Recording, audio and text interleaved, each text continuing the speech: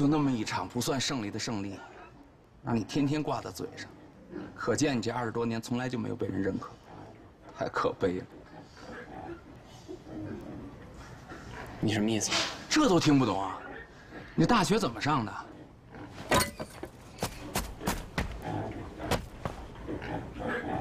真大呀！你再说一遍。干嘛？想打架？军区我还没碰到过对手。哎哎哎！别打别打！有话好说，有话好说。放心，我不会和一名战士打架。我是怕他跟您打。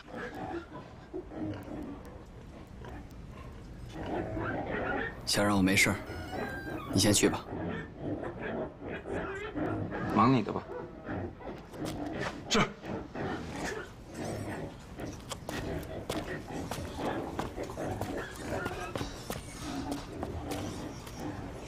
以继续了吗？说，有这么一个人，吃着国家，穿着国家，拿着国家的工资，自己却天天出工不出力，还把部队当成对抗的工具和途径。如果这样也就算了，最起码他还在专心工作，还可以养猪。时不时的他还跳出来求关注。当大家都觉得他自己个人能力不错，军事素质也不错的时候，他说这不是他想要，又要回去养猪了。有这么一个女孩，深爱这个人，为了他，把自己生生的逼成了一个登山运动员。可最后，这个人就像丢垃圾一样，把这段爱情给丢了。胡说八道！没有，承认了。看看你自己这段人生，多阴暗！你一直就在暖房里活着，抗击打性、挫败感太差，总别人不理解，可你却不知道，别人比你付出的要多得多。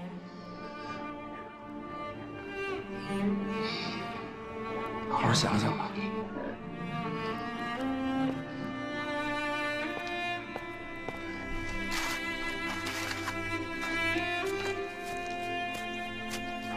班长，班长，班长，不好了，李铁来了，找梁子要吵起来了。什么？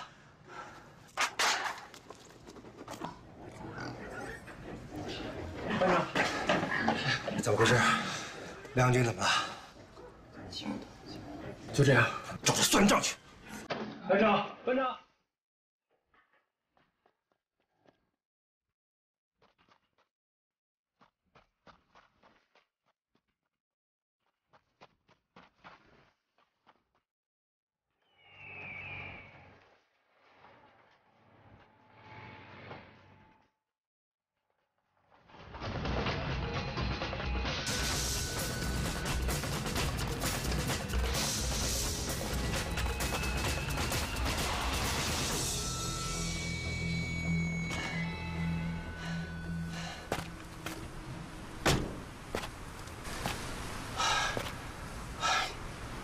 先别急，调整好呼吸。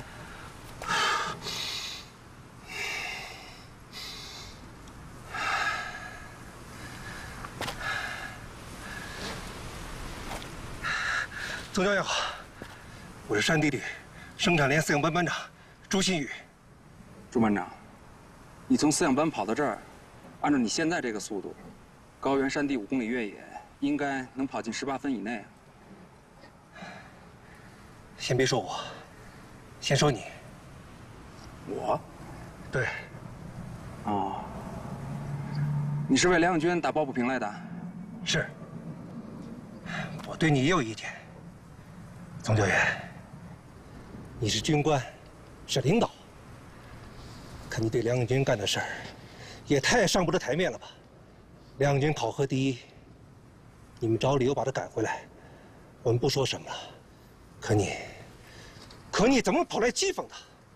你一个军官对战士干这种事情，你好意思吗？今天，你必须给我一个说法，要不，咱们就到旅里说理去。旅里说不通，我就去找军区首长。哎呀，朱班长，果真是山地旅的兵啊！你什么意思？山地旅的兵，胆子大，爱较真儿，好像就没有什么怕的。哼那是，我们山地旅突击再突击的老枪精神，是用生命和鲜血打出来的。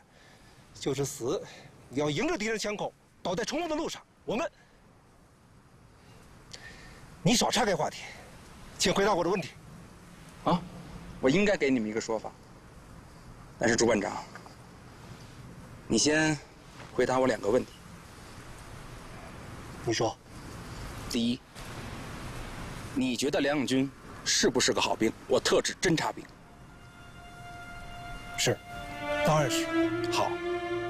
那第二个问题，你觉得梁永军应该留在饲养班吗？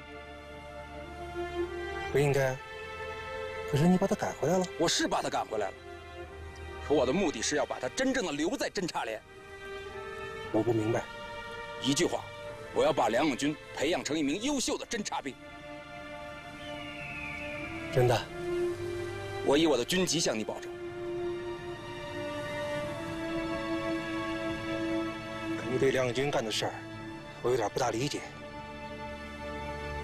朱班长，这段时间，以你对他的了解，你觉得他是个顺毛驴吗？对他，是能反着打，逼他跳出来，逼他跳出来。是，这小子是有点驴脾气。哎呀总教员，你看，有话直说，简单。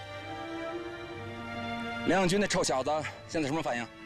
啊，我刚来的时候，他正在发呆运气，快要炸了。哎呀，总算把他给点着了。杜班长，我需要你配合我。好，我保证完成任务。任务很简单，断了他的后路。断了他的后路。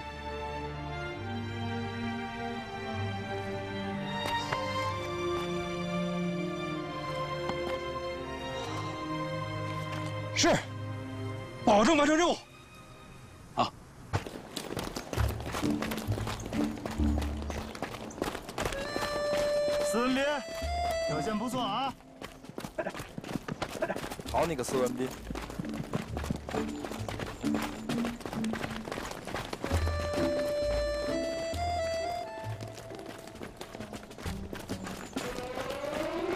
周世奇，过来。是。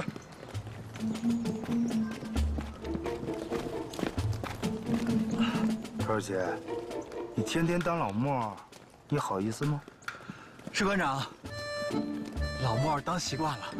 如果您让我跑到前头去，士官长您不就不习惯了吗？周世奇，注意你说话的态度。士官长，我是特殊人才。总教员特批我入队，看中的我不是这个，是这个，所以呢，您不能拿我跟他们比，您得给我点时间，让我好争取赶上他们。你觉得你跟别人都不一样是不是？你觉得自己很特殊是吗？跑步。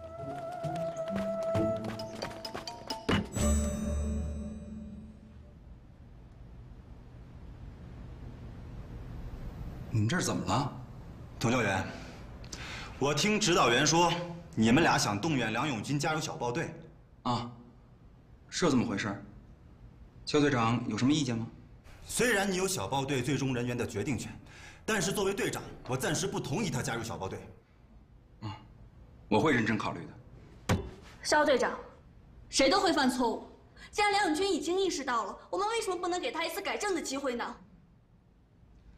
我已经给过他很多次机会了，指导员，小豹队是 A 旅转型的试验田，不是培育梁永军的苗圃。我们没有时间等他慢慢长大。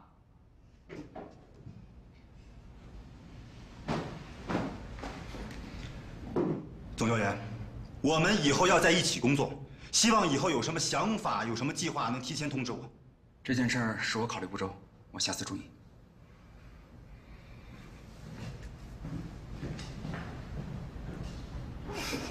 总教员，肖队长太古板、太固执了。肖队长是位优秀、负责任的军官，小豹队肩负重任，作为队长，他压力可想而知，心情也可以理解。而且，我觉得肖队长说的也有一定道理。我们不能只顾着梁永军，而忽略了全队甚至于全旅的意见。我们要想让梁永军加入小豹队，必须找到一个让大家心服口服的理由。可是小豹队预选考核梁永军总成绩第一，这个理由还不够充分吗？可梁永军曾经已在全队的面前放弃过了。是，我可以使用最终的决定权。可你考虑过大家吗？你考虑过大家的感受没有？大家一定对这件事情有看法。最后，梁永军还是会离开。这个梁永军，真让人闹心。他有自己的想法，有一股打碎了牙往肚子里咽的狠劲儿。只要他能够把这种狠劲儿放在合适的地方，我越来越喜欢他。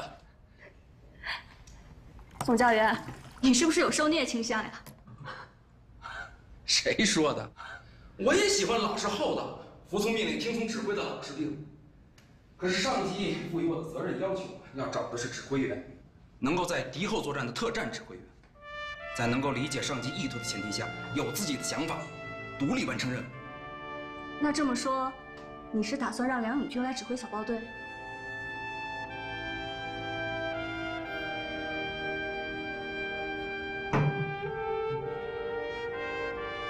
小豹队是新型的数字化特战分队，必须要有自己的指挥。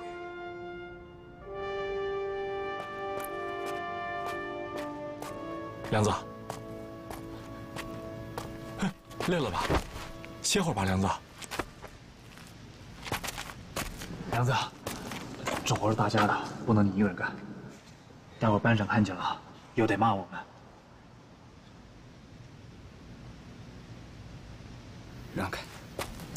梁子，哎，梁子，我们大伙帮你干。哎，梁子。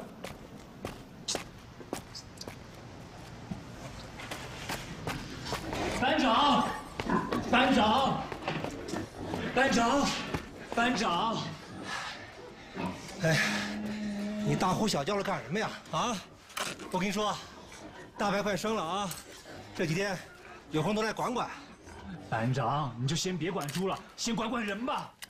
又怎么了？梁永军在那卸饲料，谁都不让碰。这可是高原呐，他要卸完那一车饲料，不得要他命呐！瞧瞧这点出息！班长，你说啥？被人损了一顿，就跟自己较劲儿。让他卸，卸累了，他就不卸了。班长，你就管管吧，不然真要出事了。班长。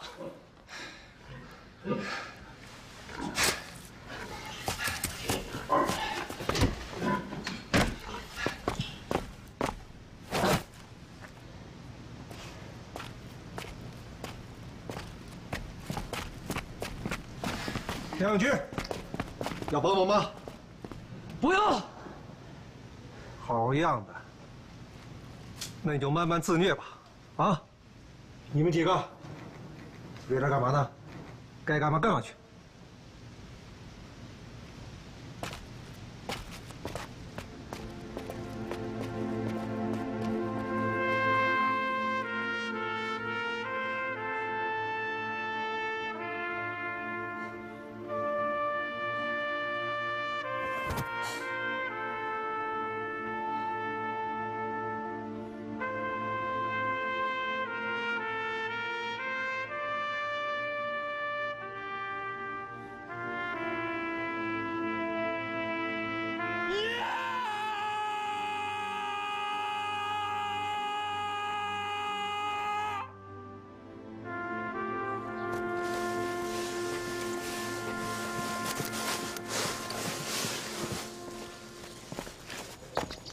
总教员，差不多可以了。总教员，这周瑞奇的体能不达标，得加强训练。训练要因人而异，循序渐进。周瑞奇，过来。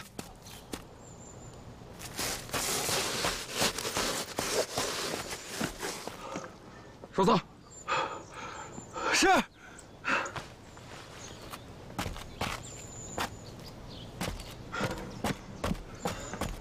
周瑞奇，站住！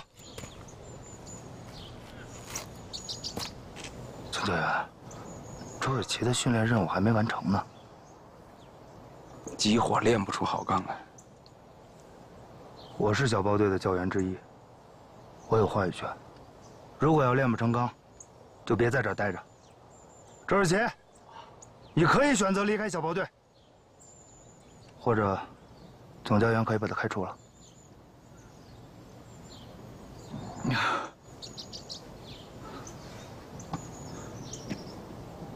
回去休息吧。谢谢总教员。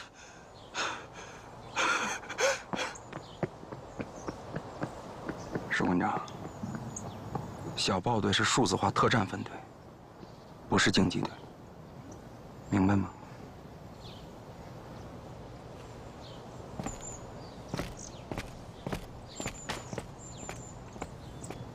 整整整整整什么玩意儿整？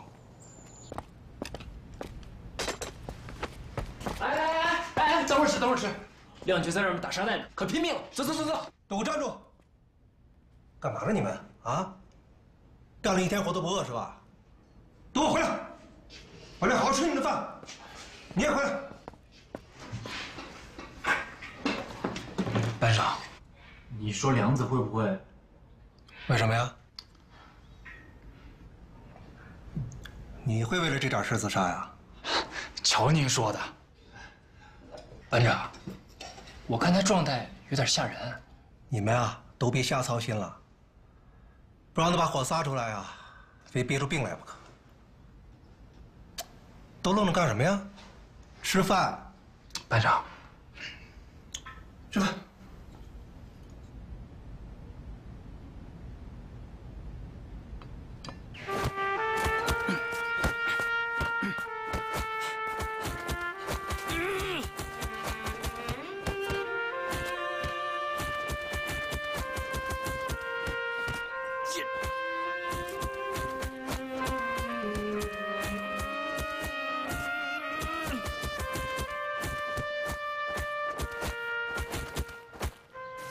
把新征程，号角吹响，强军目标，召唤在前方。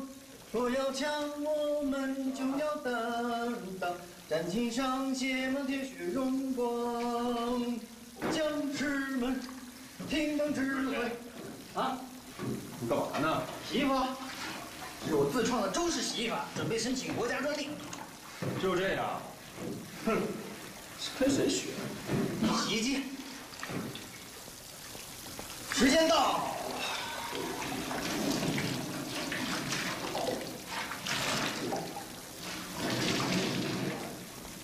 哎，你这样洗的干净吗？洗不洗是一回事儿，干不干净是另一回事儿。干嘛呀？袁亮军，聊什么？和总教员是什么关系？有什么关系？没关系。你，你骗人呢你！没关系，他能把你特批到小豹队，而且今天还在某鬼王手里把你救出来，没关系。去，有关系的话，我就给人当通讯儿去了，谁会在小豹队受罪？你是不是给他送厚礼？啊？一次管够啊！谁敢有那胆？切，那他为什么那么关心你？大概是英雄识英雄吧。呸！英雄识英雄。你干什么？你总教员的衣服吗？关你什么事？我得用我自己的双手来创造我美好的未来。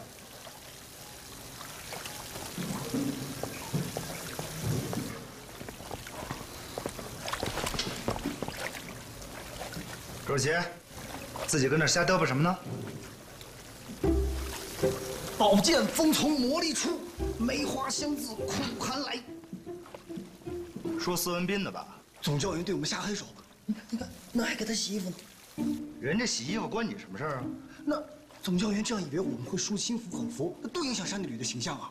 那条令条例里有规定，战士应该照顾干部的生活。那他怎么不给您洗衣服呀？怎么不给连长洗衣服啊？怎么就你歪理多呀？该干嘛干嘛去。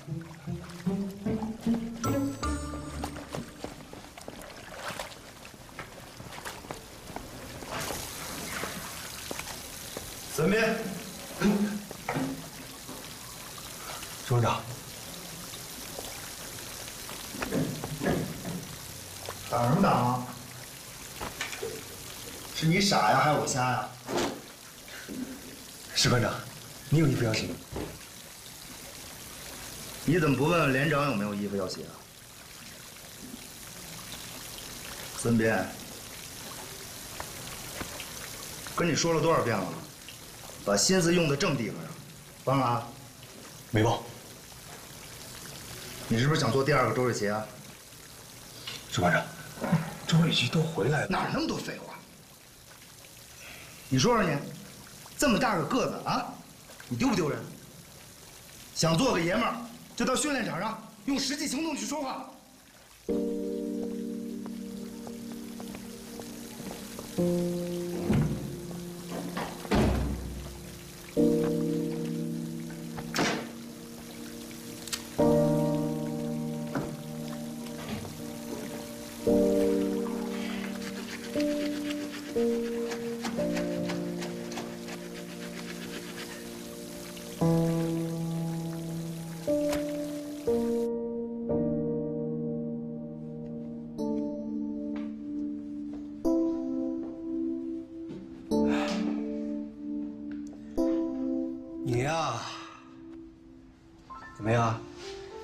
这下子折腾够了吧？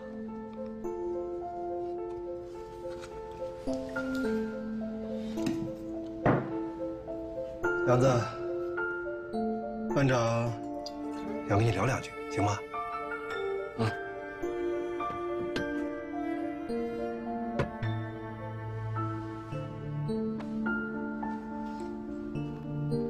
明年啊，我就到岗，该向后转了。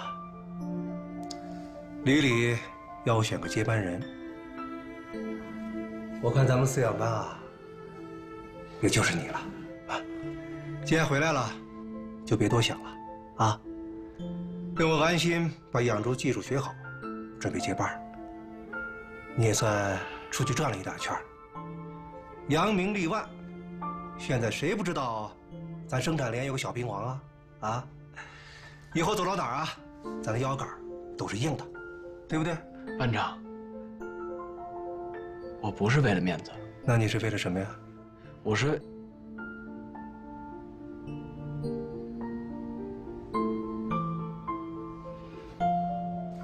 好了，革命战士一块砖，哪儿需要哪儿搬，在哪儿都是奉献。你好好考虑一下，啊！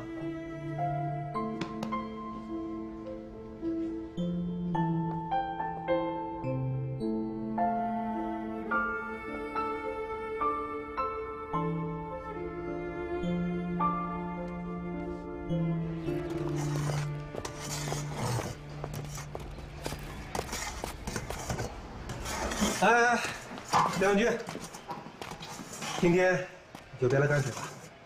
为什么呀？你得跟我好好学养猪技术啊，免得你看见军人训练心痒痒，又去这生病。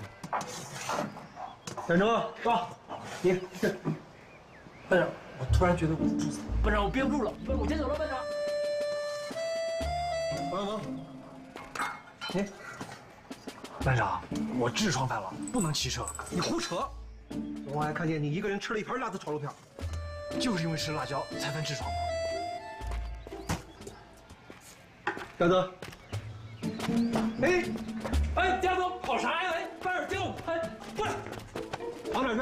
班长，这都大家的心声，还是让梁子去呗。天生是吧？啊，来来来来来，今天我要好好看看你的心声。班长你要干嘛呀？班长检查，班长，你要是痔疮没犯，我让你永远扫出去。来来，检查检查。班长，我我去，我去还不行吗？我去。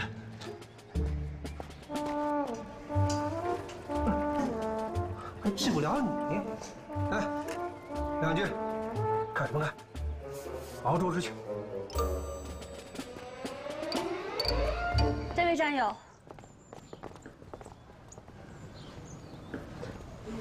梁永军怎么没来？梁永军，我们班长准备让他接班，在学养猪知识，以后泔水就由我来拉。他同意了吗？怎么可能？梁子郁闷着呢。啊，谢谢啊，你忙吧。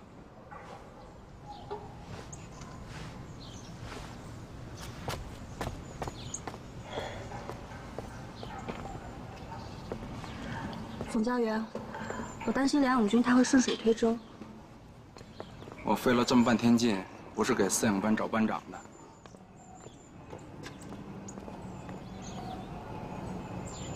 过会儿小包队去看望一下他。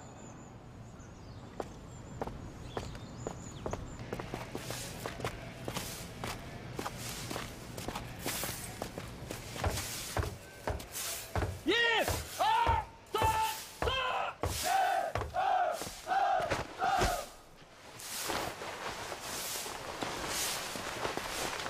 一、二、三、四。一、二、三、四。一、二、一。开步。立定。向右转。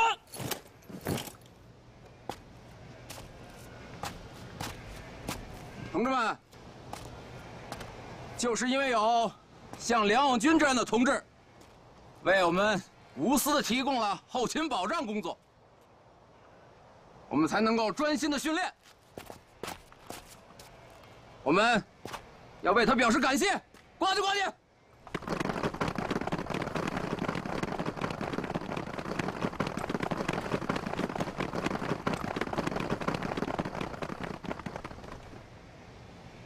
向梁永军学习，向梁军学习，向梁永军致敬。向梁永军致敬。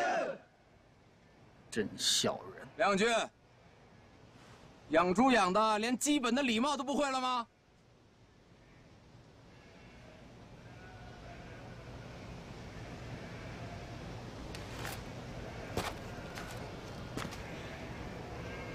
向小包队学习，向小包队致敬。都喊什么呢？喊什么呢？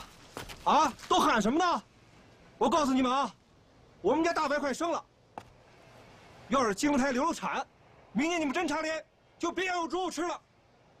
朱班长，不好意思，全体都有，向左转，后走。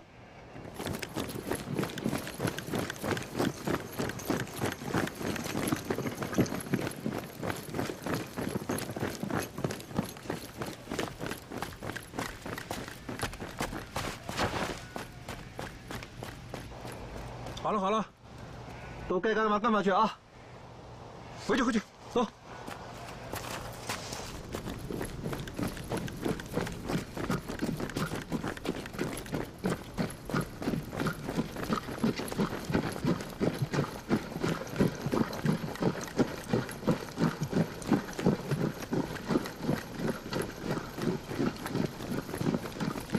开步。立定。向左转。向右看齐。向前看。坐。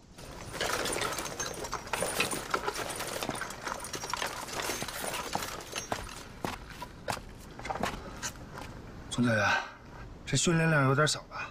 跑了五公里还不到呢。前几天预选，队员们刚刚奔袭完三十公里，要给大家一个恢复期，这样方便下一步训练。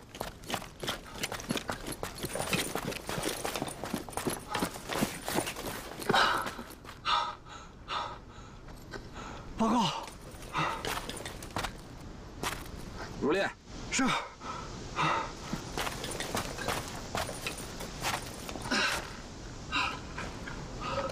大家原地休息，我讲一下。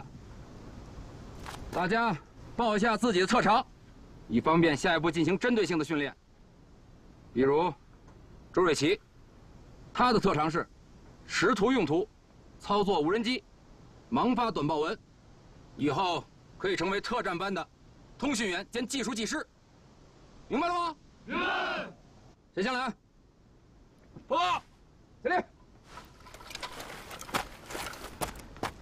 我的射击成绩全优，我想当狙击手。邓小龙，你的性格太急躁了，不适合干狙击。走。报告，司令。总教员，我觉得我很全面，什么都行。叫什么？不服出来溜溜，各项科目任意选。梁永军不服，周瑞琴，你嘚瑟什么呢？你武神，谁敢不服？我是说梁永军不服。你停！你们两个不累是吧？不累就再跑五公里。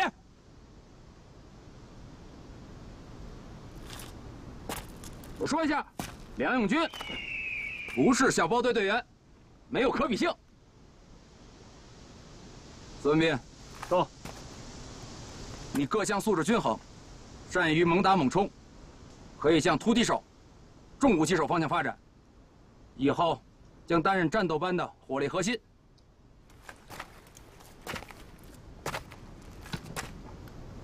我看你有一定的组织指挥能力，暂时任命你为副班长。是。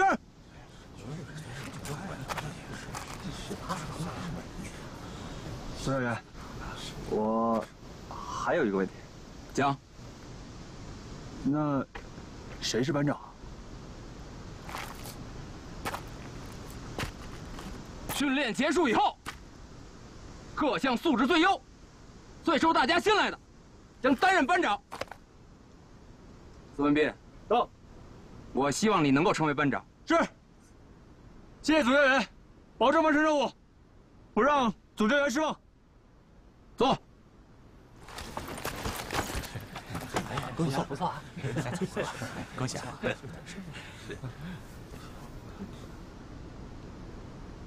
宋教员，我不知道特大是什么规定，但在我们侦察连，如果要定班长、副班长的话，必须得党支部开会通过。您是不是得跟我们连长？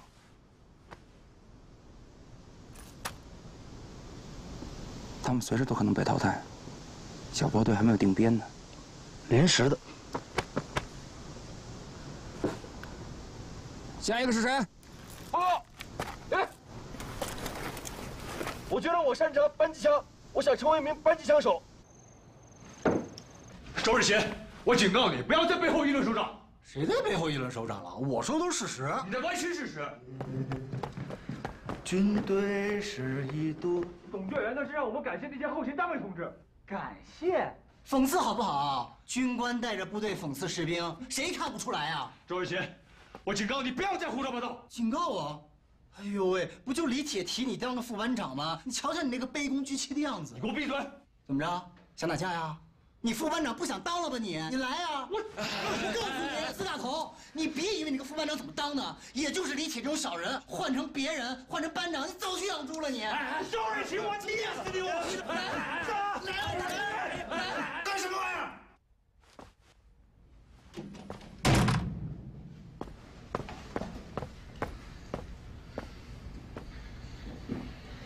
打呀！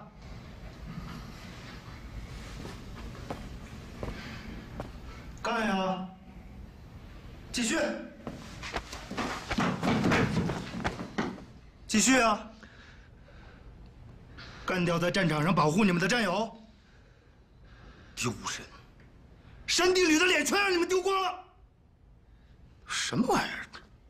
对了，以后。别再让我听见你们在背后议论首长，要不然别怪我不客气。还有你们，拉个架都拉不住了，准备熄灯。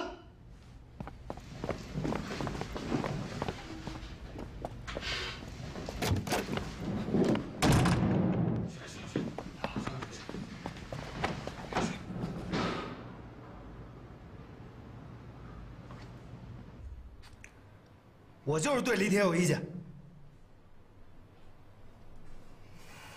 是总教员，我不承认他是总教员。你看他做的那些事儿，哪一件能放在台面上？哪一件像总教员做出来的？不光是我一个人看不惯他，连战士都对他有意见。王大鹏，每个人都有自己带兵方式，总教员有些方法可能确实欠妥，你应该学会去配合他。连长，我申请调回侦察连。这小包队的士官长我做不了，谁爱跟他配合谁配合，反正我配合不了。黄大鹏，现在是什么时候了？你要是敢给我撂挑子，信不信我处分你？小包队是咱们旅训练转型的种子，让你担任教员，是希望你能学到更多的带兵方法，为将来培养骨干做准备。你不能走。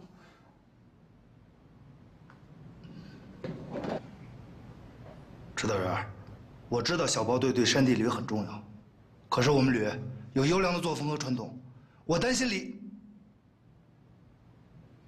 我担心总教员会坏了我们的作风。哼，亏你还是指挥员，部队是用来打仗的，光有作风不会打仗有什么用？那只能打仗没有作风，那还是部队吗？黄大鹏，我告诉你，咱们部队的优良传统、敢打敢拼的作风、突击再突击的精神，是咱们老一辈军人用血肉塑造出来的。明白吗？明白吗？明白。连长，小包队的作风我来抓。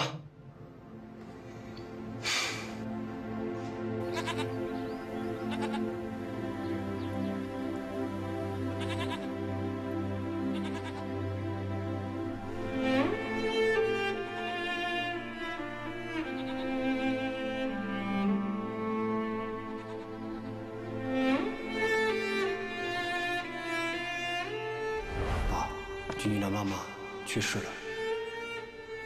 组织上考虑到君君还年幼，所以允许我回老家。那也不行，别人我管不着，但是你梁卫国只要穿一天军装，你就得给我在边境上扎根一天。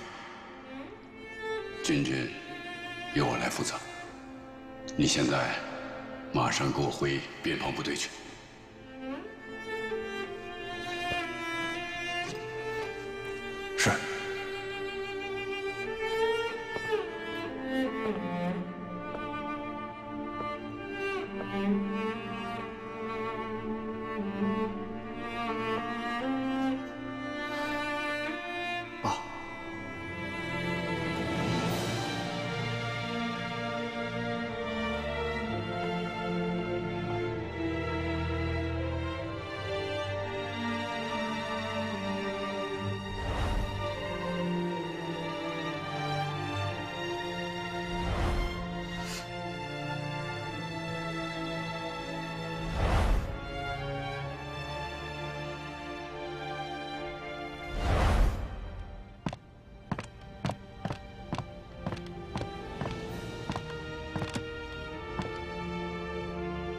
梁永军，把眼泪给我擦了。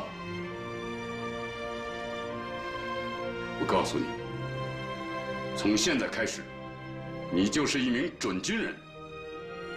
你要为接过你父亲的枪做好准备。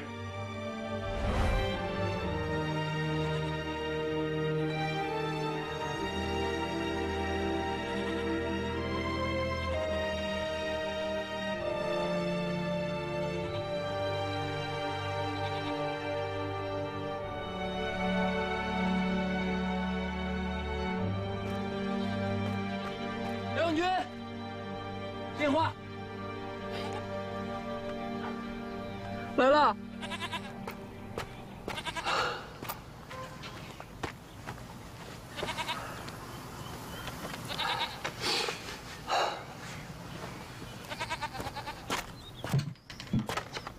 喂，我是梁永军。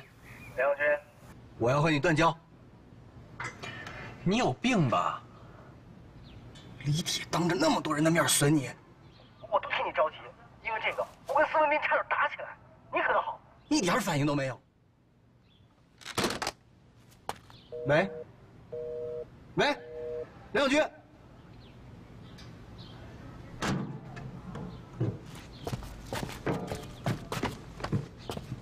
只会挂电话。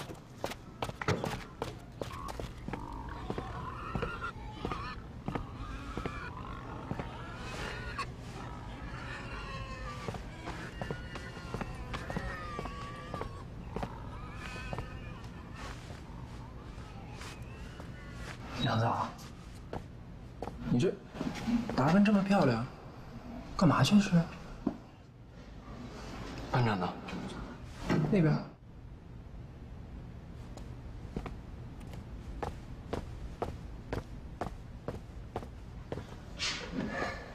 班长，我已经考虑清楚了，你再另外选一个接班人吧。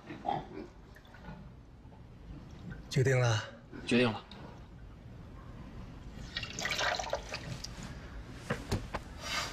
好吧，我另外找人接班。以后啊，你要安心本职工作，啊。是。那今天能不能让我去拉泔水？为什么呀？我想去看看小豹队的训练。你又想惹是生非去啊？不是，我是想叫李铁知道，什么才是一个好兵。你就死了这条心吧，啊！以后啊，老老实实跟我养猪。那我请假外出。不准。不能老不准吧？